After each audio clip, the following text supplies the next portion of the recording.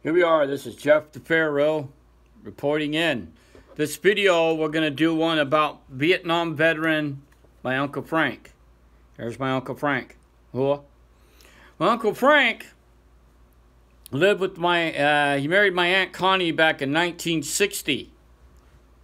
And uh, where he was somewhat of a young man, always in trouble, always drinking, always, you know, always in trouble. I mean, this guy is always in trouble. He's just a wild man when he drinks. And he's half Apache and French. And my Aunt Connie was half Chippewa and German. Wow, what a combination. And at that time, my Uncle Frank just had my uh, cousin Ronnie. Um, but their marriage was, was pretty crappy. Uh, my Uncle Frank and my Aunt Connie's marriage is pretty crappy. Here's Aunt Connie. Now, this photograph was taken right around 2015 or 16. This is many, many, many, many, many, many years later.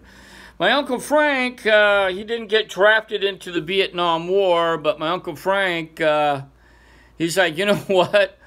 You know, he was constantly fighting with my aunt and often threatened to leave her. She often threatened to leave him because they both drink and they got both volatile personalities. Till eventually he just says, you know what?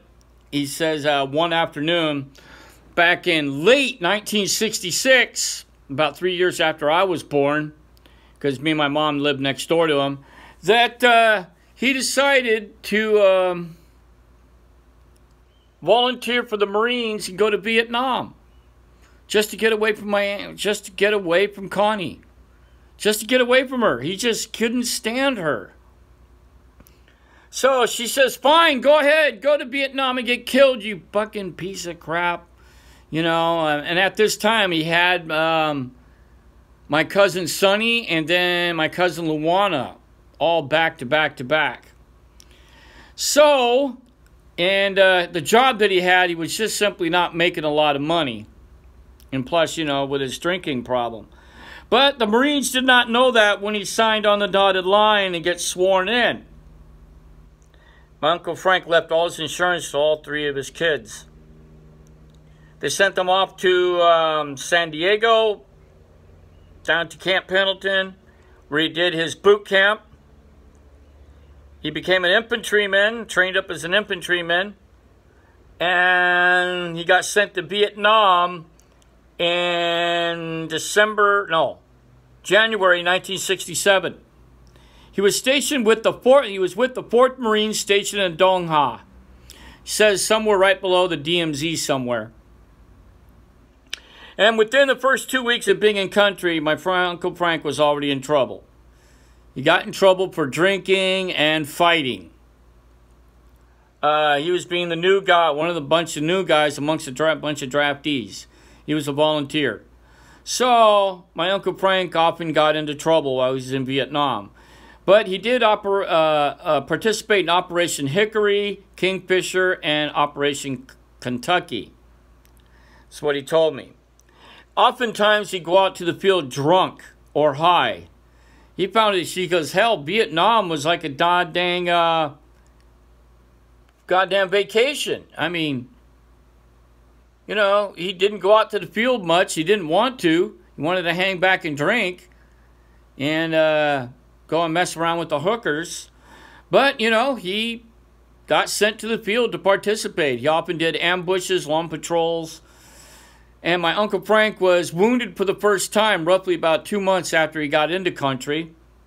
He got some shrapnel up on his uh, behind his left leg. Uh, he spent uh, roughly about a week in the, in the hospital, which his wounds were not that bad. They bandaged him up. They awarded him a Purple Heart. They sent him back to his unit for light duty for the next two weeks, and then right back out on patrol again, where he was, of course, drinking, smoking, and getting into trouble. My Uncle Frank never made it past the rank of E2. He was always getting busted down to E1. Every, a lot of his guys liked him, because he was cool, but a lot of people also hated him because when he got drunk, he was a miserable fucking drunk. Now, I am not painting an overall bad picture on our Vietnam veterans, which I am not doing. I am not going to do this. But my Uncle Frank was not a very good soldier slash Marine. My dad, my Uncle Frank had no discipline whatsoever. So, towards the end of his tour, you know, um, he used to write letters to Aunt Connie. She used to write letters back threatening him with divorce. He told her to go to hell many times. She told him to go to hell. He no longer wrote her. So at the end of his tour, after his year tour, he writes to her and says, Hey, you know what? I'm on my way home. She goes, You know what? Why don't you just stay in Vietnam, you piece of shit? You make better money, you know, because most of the money was going to her. So, you know what? She says, and when you get back, I'm divorcing you anyway, so I don't care. So he's like, you know what? Go to hell, you bitch. I'm staying in Vietnam. Screw that bullshit. I'm not going to go home and listen to her and have her bitch at me every day of the week. So he stays in Vietnam and he continued to get into trouble. He started spending time in the little stockade there for just being a fucking drunk and an asshole.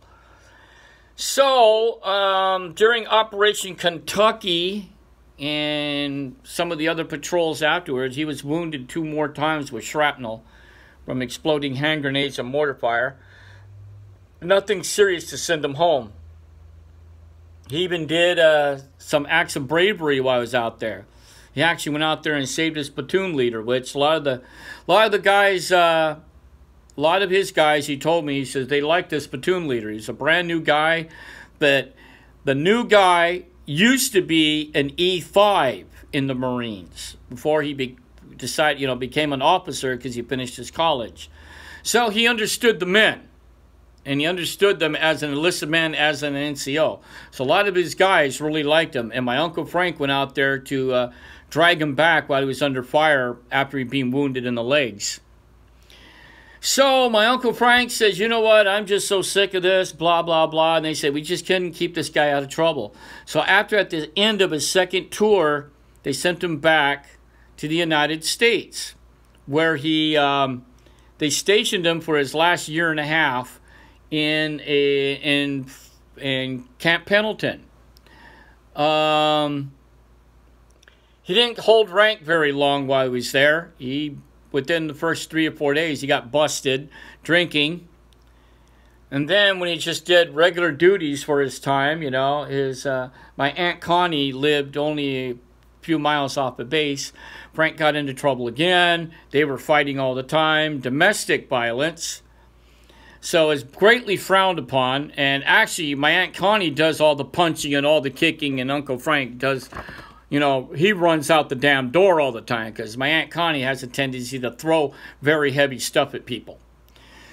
And unfortunately, for the ex fourth Marine, Marine, Vietnam veteran, my Uncle Frank finally got into serious trouble where he punched a, a gunnery sergeant, then got into a brawl with a bunch of MPs to break up the fight. He was already drinking at the time.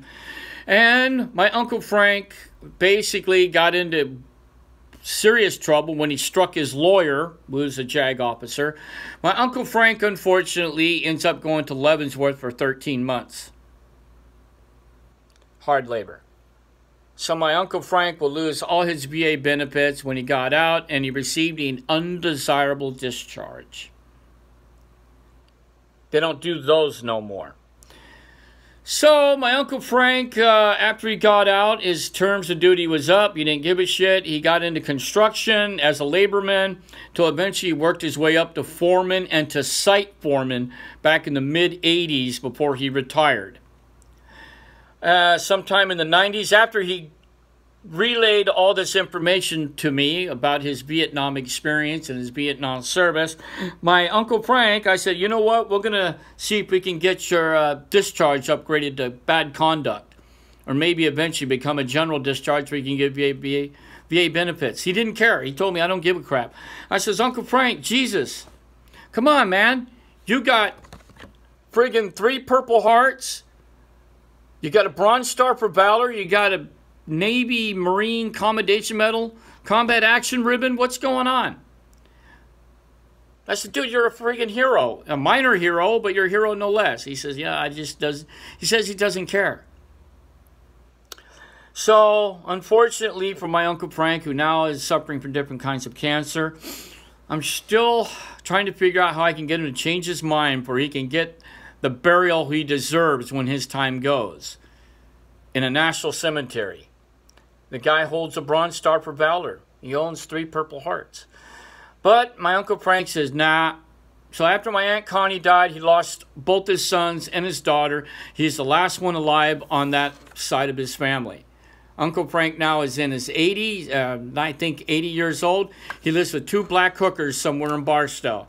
Last time I talked to him was last year. He does not like talking to Buddy, anybody. So this is Jeff DeFaro talking about my wild man, Uncle Frank, Vietnam veteran. This is Jeff DeFaro going, huh, huh.